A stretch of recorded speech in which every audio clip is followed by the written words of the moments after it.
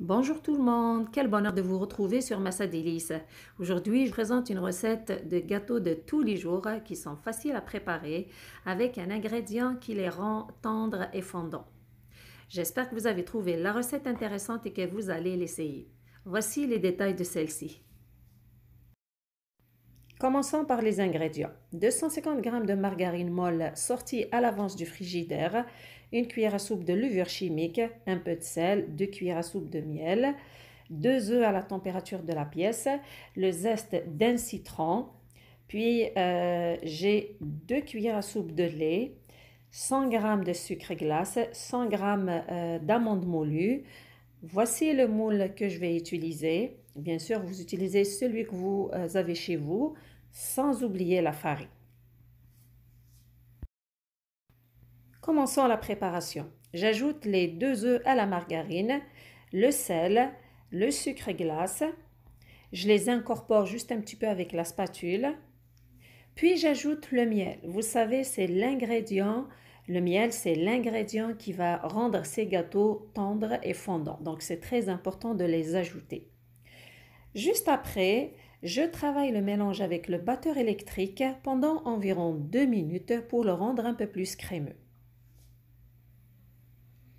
Après ce temps, j'ajoute les deux cuillères à soupe de lait et je travaille encore avec le batteur 30 secondes environ.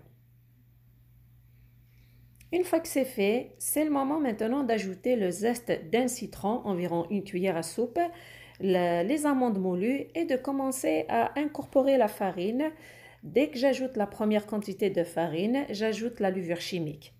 Normalement, euh, pour cette pâte, euh, ça va me prendre 500 g de farine. Mais vous savez, à chaque fois, je vous le dis, euh, ça dépend de la qualité de la farine. Donc, c'est pourquoi je préfère l'ajouter avec des petites quantités. Surtout, c'est bien de travailler la pâte avec vos mains pour sentir la texture et de savoir à quel point vous arrêtez d'ajouter la farine car le but c'est d'avoir une pâte qui est un petit peu ferme, euh, mais qui se travaille facilement. Surtout dès qu'elle commence à, se ramasser, comme vous voyez sur l'image, donc il faut arrêter d'ajouter la farine. Voici la texture que vous devez obtenir. Juste après, je couvre la pâte et je la laisse se reposer 30 minutes avant de confectionner les gâteaux. Quand c'est le moment de le faire, je prends des petits bouts de la pâte, je les travaille à l'aide d'un rouleau pâtissier, j'étale la pâte, comme vous voyez, puis euh, j'utilise l'emporte-pièce pour confectionner les gâteaux. Voilà l'épaisseur que je leur ai donnée. Vous pouvez les rendre un peu plus épais, mais personnellement, je préfère qu'ils soient pas trop épais, pas trop minces.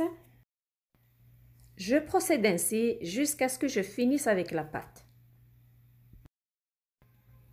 Avant de mettre les gâteaux au four, j'ai ici deux jaunes d'œufs avec une cuillère à soupe de lait et la, la pointe d'une cuillère à thé de cacao. Je les mélange bien ensemble. Puis, je me sers de ce mélange pour badigeonner tous les gâteaux pour qu'ils aient une belle couleur après leur cuisson. Donc, chaque gâteau, je le badigeonne avec ce mélange. Juste après, je me sers d'une fourchette pour faire des motifs croisés dessus chaque gâteau. Puis je les mets au four préchauffé à 150 degrés Celsius ou 300 degrés Fahrenheit. Je les fais cuire pendant 20 minutes au milieu du four et je les monte après en haut pour un autre 10 minutes pour avoir une belle dorure. Donc en tout, je les fais cuire pendant 30 minutes. Puis j'arrête leur cuisson. À leur sortie du four, voici les gâteaux. Ils sont bien dorés avec une belle couleur au goût du citron. C'est des gâteaux surtout qui sont fondants. À propos, vous pouvez remplacer le citron par la vanille. Vous pouvez même ajouter une pincée de cannelle, c'est à votre goût. Voyez par vous-même comment ces gâteaux sont tendres et fondants grâce à l'ajout du miel dans la recette. J'espère que vous avez trouvé la recette intéressante et que vous allez l'essayer.